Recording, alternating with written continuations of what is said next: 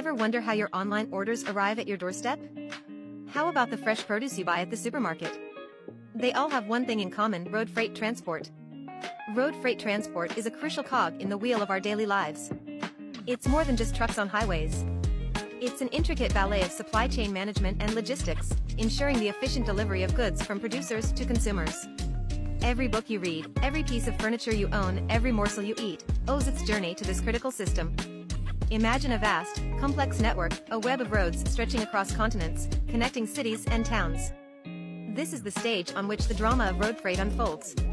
Each player, from the humble delivery van to the mighty 18-wheeler, performs a role in this grand production. So, the next time you receive a package, remember the intricate web of road freight transport that brought it to your doorstep.